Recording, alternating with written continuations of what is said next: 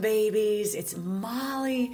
Thank you so much for being here, and thank you for visiting this little autumnal vlog. And I hope that you all had a beautiful equinox and are enjoying the season you find yourself in wherever you are on the planet. So, I spent the equinox in the North Woods of Wisconsin, and it's really a sublime time.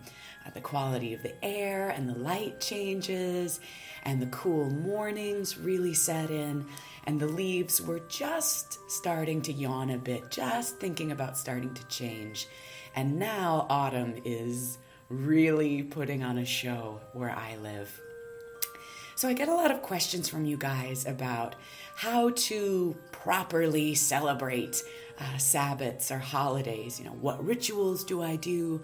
What should be on my altar? And it's a topic that seems to stress people out a bit. and I wanted to offer you something else. I wanted to share something else. Truthfully, I don't do elaborate ritual on the actual day of the Sabbat. Um, what I choose to do instead is try to spread out my celebrations over the course of an entire season to really get the juice.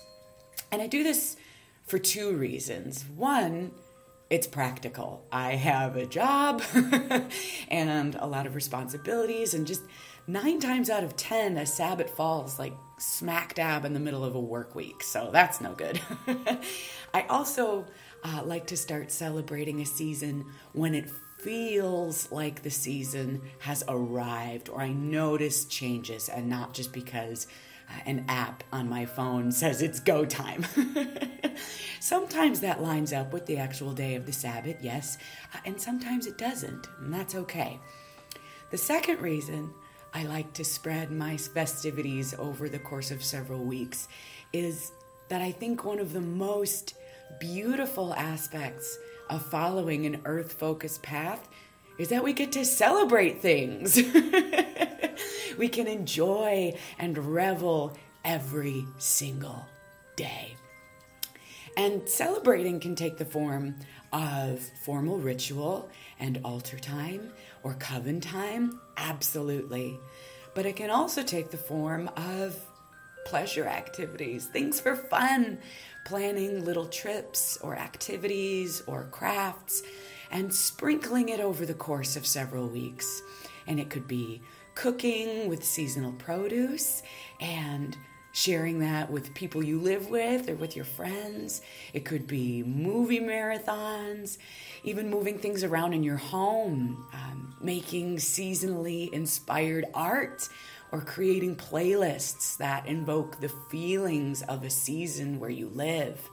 It could be doing work in your community that resonates with seasonal energies, or just going outside and using our artist eyes to really zoom in and observe changes, really engaging all of the senses and carrying that enthusiasm through the duration of a whole season.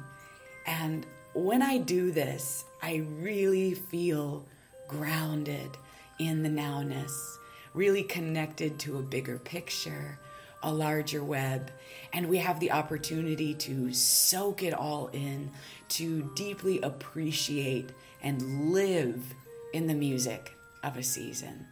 And that, to me, feels like a truly magical life.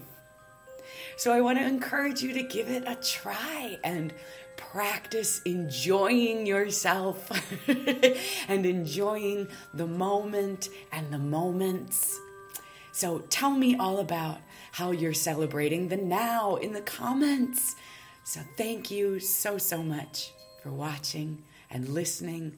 I want to extend a special thanks to all of you who visited the Bandcamp and to all of my gorgeous patrons who make this work possible. So thank you, thank you, thank you. And I wish you all of the delights of the season wherever you are, moon babies. And until we speak again, witch on, witch boldly, and be well. Bye bye.